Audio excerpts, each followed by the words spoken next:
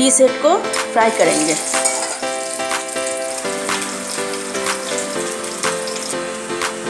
fish head को निकाल लिए जीरा, क्यूमिन सीड, बेली, अनियन, टमाटर, ginger garlic paste, salt turmeric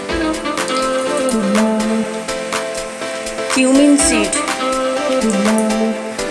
cumin powder coriander powder red chilli powder black pepper powder cabbage garam masala last में फीसेड